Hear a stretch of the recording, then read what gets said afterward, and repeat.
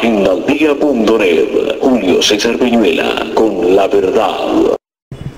Ramón Támara, bueno, líder eh, de la izquierda en el departamento norte de Santander. Con usted podemos hablar varios temas. Primero iniciemos con la problemática de la gasolina, que usted lo conoce muy bien.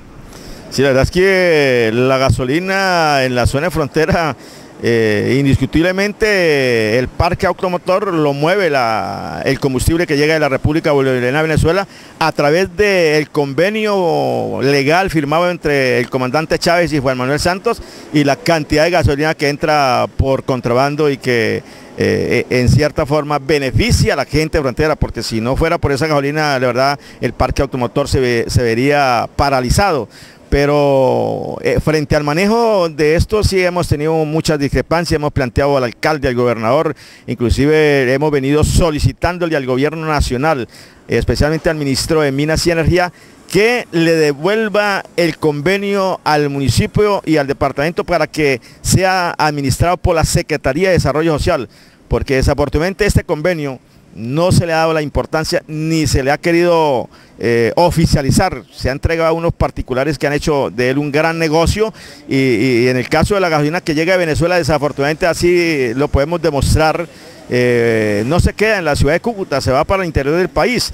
Y Ecopetrol amparado en el convenio que llegue a Venezuela, entonces no envía gasolina eh, subsidiada desde Barranca para el norte de Santander y ahí encontramos que por el caso Pamplona, Ocaña, los municipios, inclusive mismo Cúcuta, usted no encuentra combustible en las bombas, entonces ese es un grave problema. Ojalá en la reunión cerrada y escondida que van a hacer eh, con Juan Manuel Santos allá en, la Brigada 30, hombre, le plantearan ese tema de la gasolina. Y además nosotros como dirigentes no nos dan la posibilidad de, de asistir. Si casi si al presidente de la Asamblea, al doctor Bueno, no lo, no lo dejan de entrar, no permitieron la entrada de la mesa directiva de la Asamblea, ahora un, a un dirigente como nosotros no nos van a, permitir ni nos van a, dejar, nos van a dejar arrimar, ni nos van a dar la palabra para plantear este tema, que es uno de los temas que debe preocupar al gobierno departamental y municipal, porque afecta al parque automotor a más de 250 mil carros, que es el parque automotor de Tantaní, y más de, y más de 100 mil motos que se mueven en esta zona fronteriza.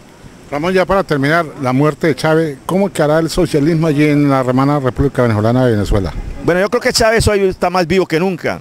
Si bien es cierto, el cuerpo de Chávez será enterrado en el día de mañana, pero el espíritu, los ideales, las propuestas, los programas, las misiones van a seguir vivos y el pueblo venezolano hoy, quienes hemos podido ver la televisión venezolana,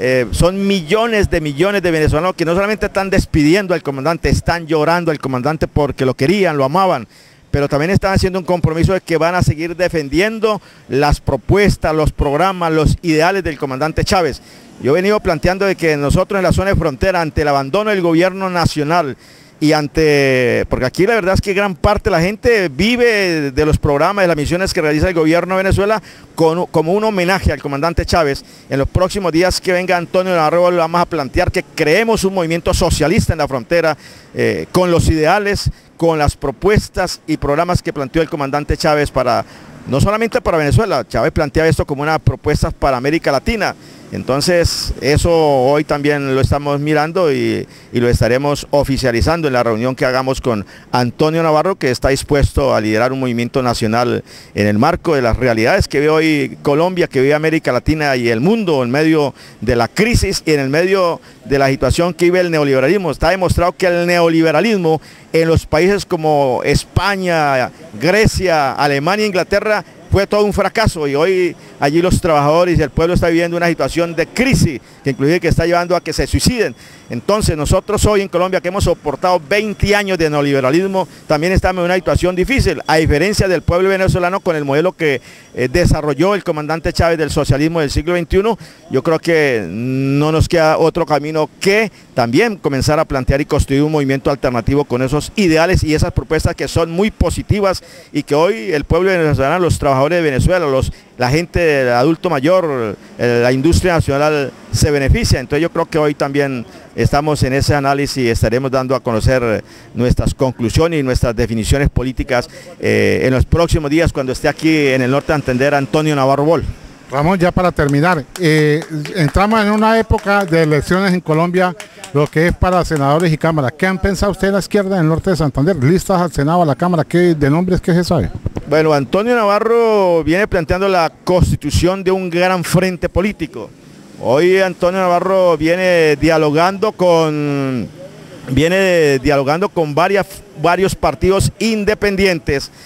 varios partidos independientes y yo creo que es la hora, es la hora de, armar un movimiento eh, alternativo, un movimiento con las diversas fuerzas políticas que estemos dispuestos a,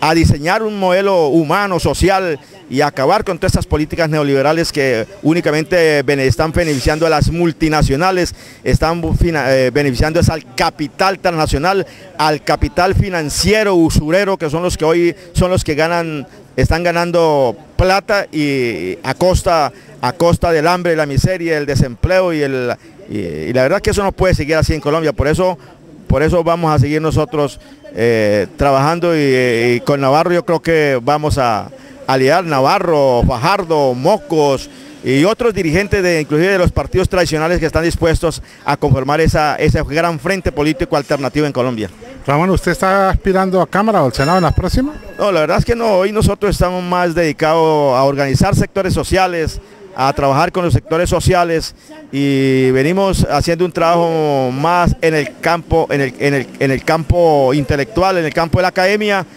pero hoy lo que nos interesa es construir una alternativa política en Colombia. Muy amable a Ramón Elita Mara por estar en agendaldía.net. Si de noticias se trata, agendaldía.net.